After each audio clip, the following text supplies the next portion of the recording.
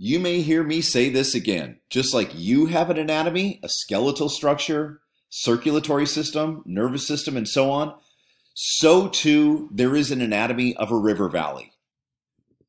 Every river valley will not have all of these features, but some river valleys will have all the features I want you to know. Let's take a look at them.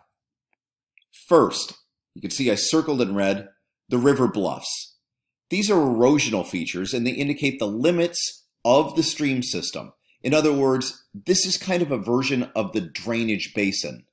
Everything between that is part of the same river system, everything that's between those river bluffs.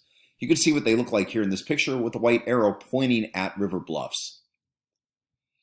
The floodplain is the area between the river bluffs. It indicates the potential realm of the river during a flood. Good or bad place to build a house? Answer is yes, you're correct. If you look at both of these photographs, you can see the two pointed arrows indicating the floodplains. Notice no houses built there either. How about that? The natural levees, these are not all that common. You find them in the south along the major rivers in the south, like the Mississippi, but you don't find these along every river. The natural levees are alluvium that's deposited along the banks of a river, and that creates hills that run parallel to the course of the river, which you can see I indicated with those brown squiggly lines that are going parallel, running right along the banks of the rivers, or the river in this case. You can see them indicated with the white arrows, just slightly raised areas. There's vegetation growing along them in this photograph.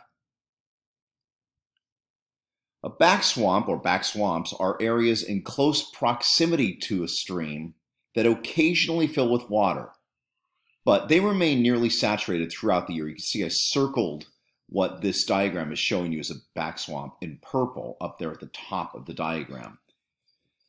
Back swamps typically have hydrophytic vegetation. Hydro means water, of course. Phytic is a Greek word for vegetative life. This is common in back swamps. These are plants that live in water, such as cattails, cranberries, not the band, but literally cranberries. Venus flytraps, yes, that very famous thing and various reeds and grasses, when the water dries out in the back swamp, these things tend to die off.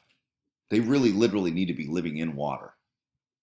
Here we have a back swamp with hydrophytic vegetation and an egret. See it there in the foreground?